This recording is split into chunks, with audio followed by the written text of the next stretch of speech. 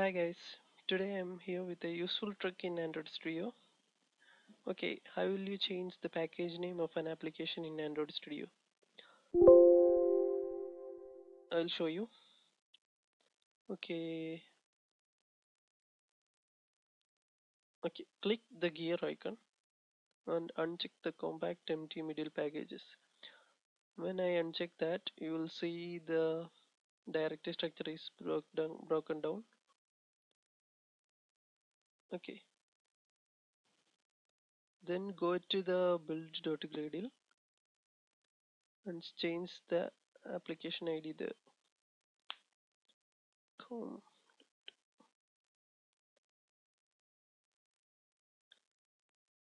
Okay, I'm just copying it. Click sync now.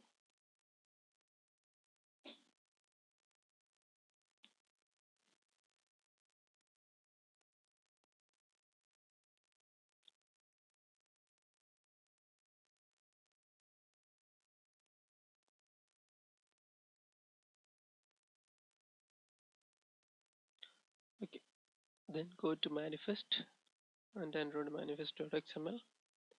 Rename the package there also and save it. Okay, then go to Java. You can see the direct structure in the first the first folder. Click right click and go to refactor and rename. Click rename package and just type com and click do refactor here. Then right click on the next directory. Click refactor rename rename package. Click refactor click do refactor here. Right click on next repeat the step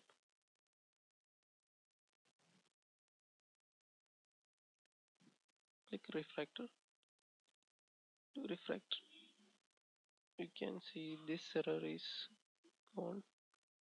Okay now it's done. Okay thank you